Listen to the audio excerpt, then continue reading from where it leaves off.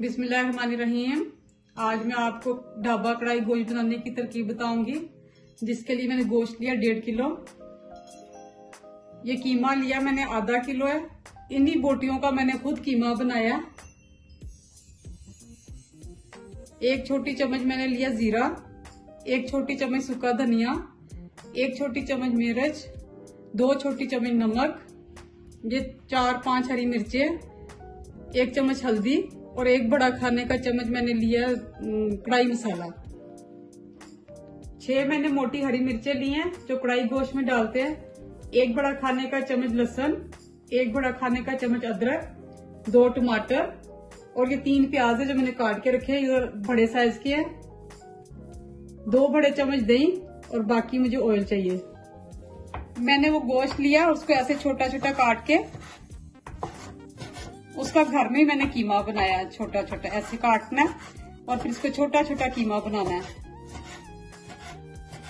ऐसे करके मैंने सारा कीमा बनाया। ये मैंने कुकर लिया है, इसमें गोश्त डालना है। गोश्त की बोटियाँ थोड़ी बड़ी बड़ी होनी चाहिए, ऐसे।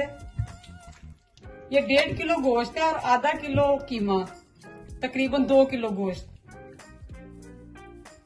ये आधा कप मैं इसमें पानी डालूँगी? और ये दो चम्मच मैंने नमक लिया था, एक चम्मच मैं गोश्त में डाल दूँगी। और अब इसको प्रेशर देके थोड़ा थोड़ा गिला लेना है गोश्त को। इसमें मैंने चार बड़े खाने के चम्मच ऑयल डाला। है और प्याज।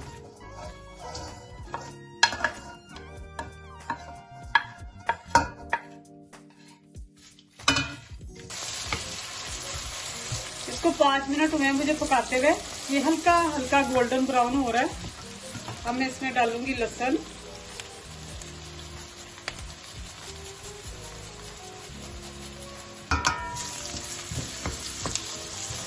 लहसन मैंने डाल दिया अब ये अदरक डाल देना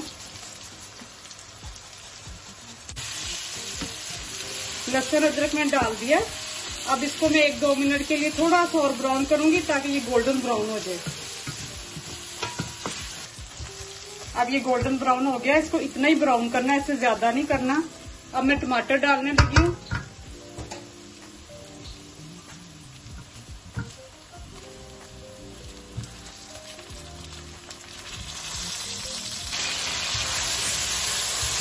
टमाटर मैंने डाल दिया दोनों। अब इसमें जो नमक, मिर्च और सूखा धनिया और जीरा, ये डाल देना।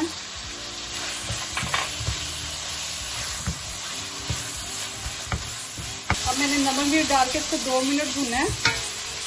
ये थोड़ा सा पानी डालना है, ये आधा कप।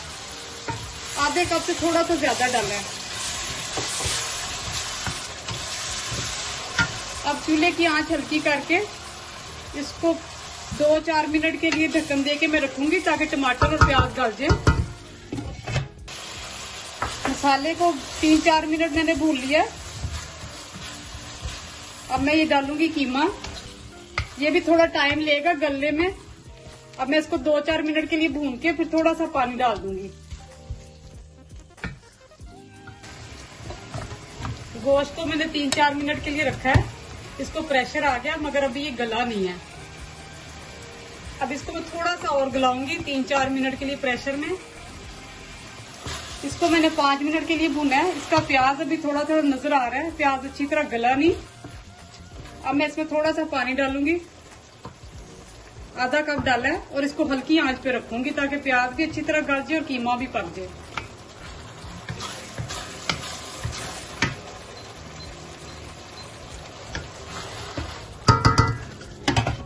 कीमा अच्छी तरह भुन गया, इसने तेल भी छोड़ दिया, अब मैं इसमें डालूँगी हरी मिर्चें।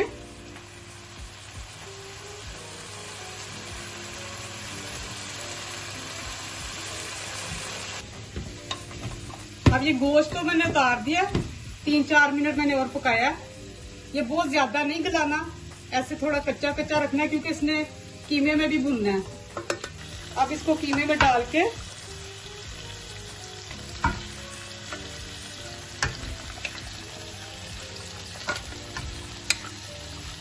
अब मैंने गोश्त डाल दिया इसको मैं पाँच छह मिनट के लिए भूनूँगी। और ये जो यखनी बची है, इसको फेंकना नहीं है। इसको थोड़ा थोड़ा करके गोश्त के अंदर ही डालना है। अब मैं इसमें दो खाने के बड़े चम्मच मैंने दही लिया और इसके अंदर मैं डालूँगी ये जो कढ़ाई मसाला है। और इसको अच्छी तरह मिक्स कर लूँगी। दही आप अपनी मर्ज़ी से डाल लें, अगर आपने ज़्यादा डालना है।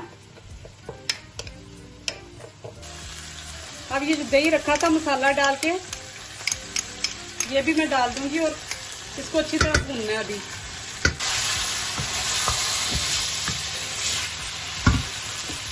और मुझे इसको तीन चार मिनट हो गए भूनते हुए। ये साथ लगने लग गया, मैं हल्की हल्की यखनी डाल के इसको थोड़ा सा और भूनना है अभी।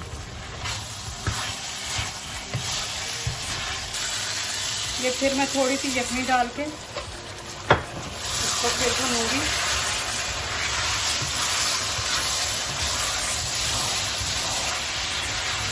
अब गोश्त भून गया। इसको 10 मिनट मैंने भुना है, अच्छी तरह इसने तेल भी छोड़ दिया इसकी बड़ी अच्छी खुशबू भी आ रही है।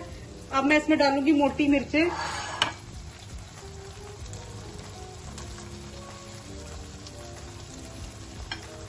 इनको ऐसे कट लगा के, ये मैंने सारी हरी मिर्चें डाल दी हैं।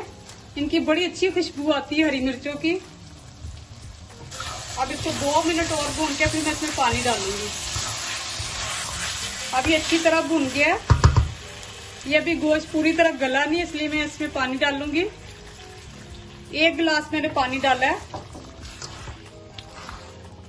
और मैं इसको हल्की आँच पे पकाऊँगी, ताकि गोश्त अच्छी तरह गल जाए। अब मैं इसको ढक्कन दे के हल्की आँच पे 10 मिनट के लिए रखूँगी। कढ़ाई गोश्त बिल्कुल तैयार है। इसका कितना प्यारा कलर आया है। और गोश्त भी अच्छी तरह गल गया। मैं डालूँगी इसमें हरा धनिया।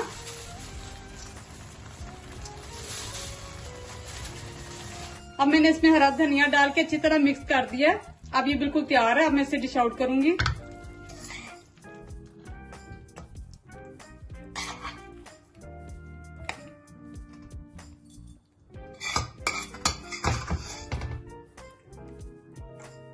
अब मैं डालूँगी इसके ऊपर अदरक।